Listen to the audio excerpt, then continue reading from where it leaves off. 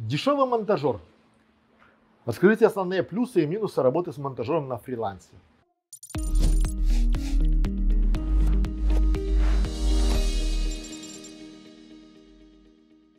Друзья мои, прям любимая тема. Ну, давайте я вам скажу один большой минус работы с дешевым монтажером. И он глобальный.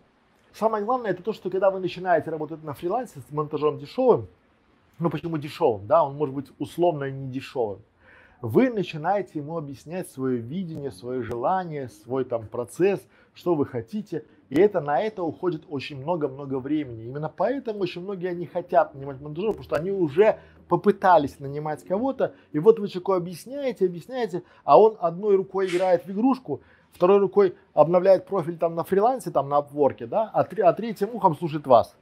Потом делает не то, что вы хотите, а то, что он считает нужным, вам дает, и вы понимаете, что там ерунда.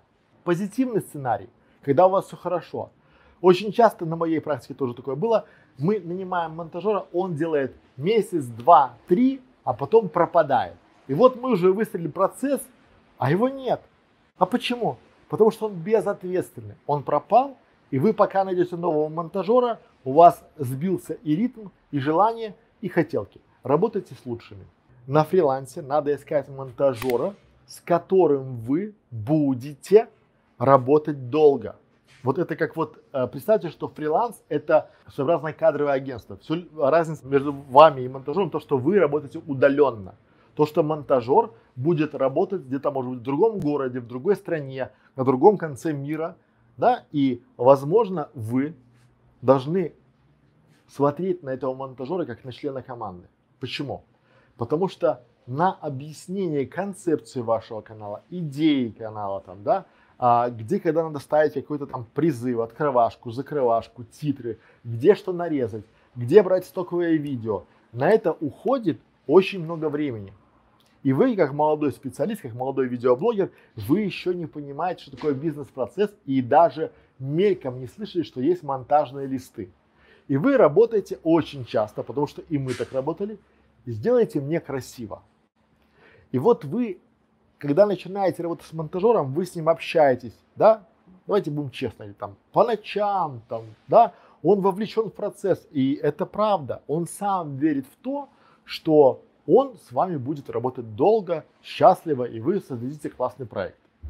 Берет он недорого, но потом минус недорогих. Потом этот монтажер, к нему приходит кто-то другой, с более вкусным и интересным предложением. А теперь самое интересное. От нас уходили монтажеры за стоимость в 3 рубля больше за минуту, чем у нас. То есть они даже не объясняли нам, почему они уходят. Они просто уходили к другим, зачастую конкурентам, потому что там платили за минуту больше, чуть-чуть больше.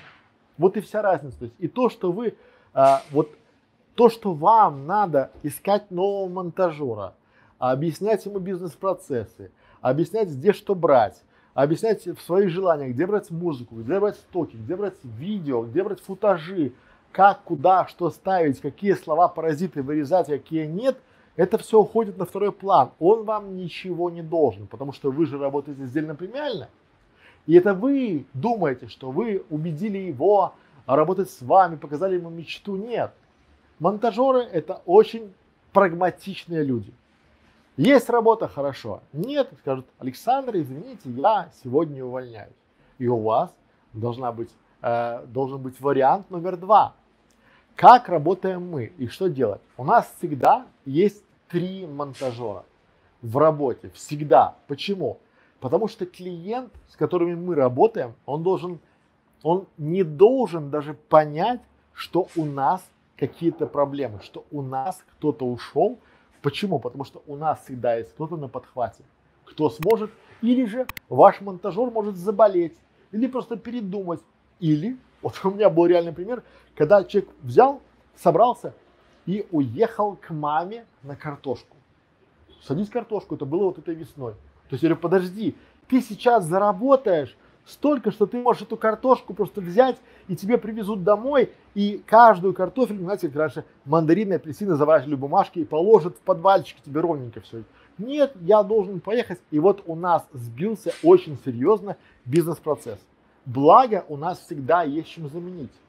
А дешевые монтажеры, они потому и дешевые, они не знают себе ни цену, и они не ответственны. Они вот, то есть они на этом не зарабатывают, они этим перебиваются.